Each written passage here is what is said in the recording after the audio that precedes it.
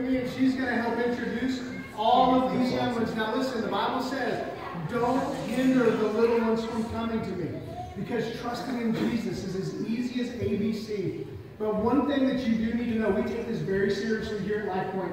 So we have not only talked with each of these children, but we've also communicated with their parents to make sure that both the children and the parents are ready to walk through this. Because we believe that you as parents are the primary disciple of your children a privilege to be a part of this. So, Ms. Cassandra, who do we have here? This is Miss Kali Whitworth. She's our youngest. She's a kindergartner, and she's so sweet. She's been super excited all morning. Awesome. Well, Kali, have you trusted Jesus as your personal Savior?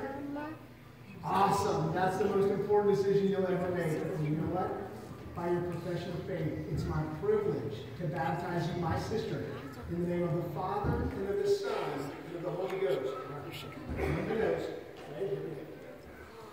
Baptized in 1975.